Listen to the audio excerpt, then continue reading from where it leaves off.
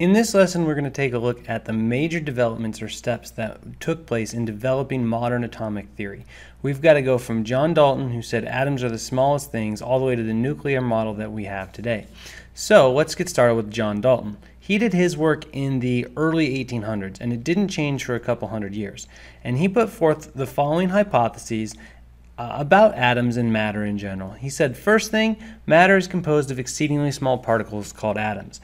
And an actual chunk of this material contains just an inconceivably huge amount of atoms. Not only are atoms there, but they're really, really, really, really, really, really, really small.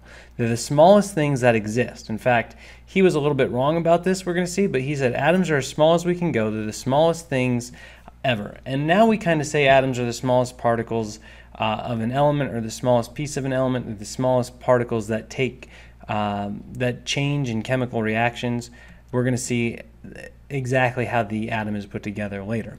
Now, Dalton also said elements consist of only one type of atom. That's why an element is pure. Everything in it is exactly the same. Uh, these elements, these atoms of an element, are identical. And if we're going to have a different element, it's because it's got different atoms. So atoms of one element are unique from atoms of a different element. Compounds consist of atoms of two or more elements. So if we're going to create something we, that's not an element, we can do it by bonding different atoms together.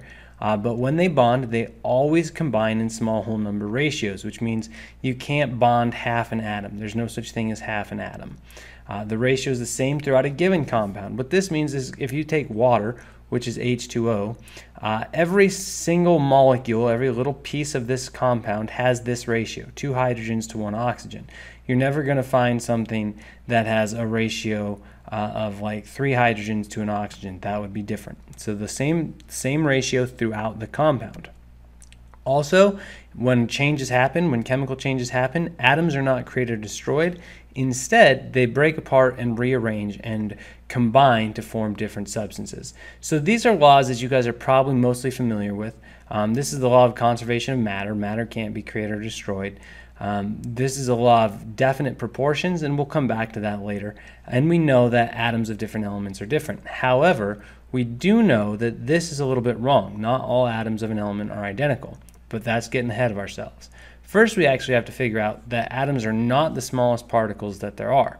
So this didn't happen until the late 1800s, early 1900s. And a guy named J.J. Thomson uh, was experimenting with a cathode ray tube. Now, this is a picture of a cathode ray tube, a cartoon of one. Uh, this tube is mostly empty. So all the gas is mostly pulled out of there, and there's a metal cathode and anode. And essentially, what these things do is we put very, very high voltage on them, and it accelerates particles from the cathode through the anode. And then that beam of accelerated particles is moving pretty quick. That's called the cathode ray. Shoots through this evacuated tube, and then there's a screen over here that glows when these particles hit it. So, Thomson was doing experiments with this cathode ray tube, and he found some interesting things, things that didn't quite jive with Dalton's atomic theory. Um, there are particles smaller than atoms. So in his cathode ray tube experiment, he would change what the cathode was and what the anode was because these are the pieces that are actually generating the particles. And he found that when he changed those pieces, nothing mattered. It didn't have any effect. So that beam of particles that was produced was the same for any cathode or anode combination he used, and that beam could be deflected by both magnetic fields or charge plates. So this is the straight line path it should have, but if we if we apply an external field from a magnetic uh, field or an external electric field, we can get that to deflect, which is kind of fun. Um, in fact, old school TVs called cathode ray tubes, CRT, they use these to draw pictures on the screen.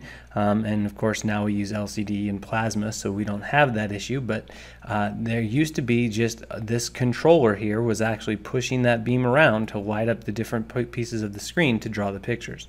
Okay, so he changes the metal and it has no effect, uh, and the beam is deflected by charge, which means there's something that's in this metal that is common to all metals, common to all matter, uh, and so it's smaller than the atom because it can be accelerated and brought out of the atom, uh, and it's fundamental to all of them. So we have this negatively charged piece, and we know it's negative because it's accelerated away from the negative towards the positive, and because of the way it interacts with these magnetic fields or electric fields. And this thing is really, really, really, really small. Okay? Millikan actually did this. Robert Millikan did what's called the oil drop experiment in 1909, and he found its charge. And since Thomson had done the work to find its charge to mass ratio, essentially what Thomson measured was how much magnetic or magnetic or electric field it took to deflect this thing, which allowed him using some pretty high-powered math to calculate its charge to mass ratio. Uh, he allowed Millikan to do the math to figure out how much mass it actually had. Millikan, in his cool oil drop experiment, found the charge, and that allowed him to calculate the mass. And it's really, really, really, really small. It's about 2,000 times smaller than the simplest atom, a hydrogen atom. So this little particle is actually in the atom. It has a negative charge, which of course must mean there's a positive charge in the atom too, because we can separate it, which led Thomson to propose the plum pudding model.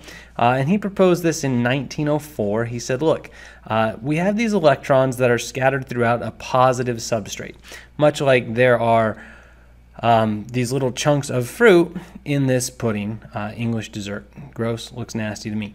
Uh, anyways, he wasn't the only one to propose that there would be an arrangement of positive and negatives. Uh, this this model was put, put forth in 1903 that the electrons are like rings around a positively charged body, like Saturn has rings. Um, it took another experiment to actually figure out well who's right, what's going on. So Rutherford came along uh, and did the gold foil experiment. Actually, he had his grad students and people he was working with do the experiment, but hey, he gets credit for it. So Rutherford actually did a lot of work with Thomson in his earlier days, and he did a lot of work with radioactive particles, and he knew he could generate alpha particles uh, with radium, and he put it in a lead box so he could focus this beam and send them all more or less the same direction. And what he did is he had his, his helpers uh, shoot these at gold foil. This piece of gold foil is not thick like a piece of aluminum foil. It was pounded very, very, very, very, very, very thin, a uh, couple hundred atoms thick maybe, and they shot alpha particles at it. And what happened was a little bit surprising. The alpha particles went through, mostly. Okay?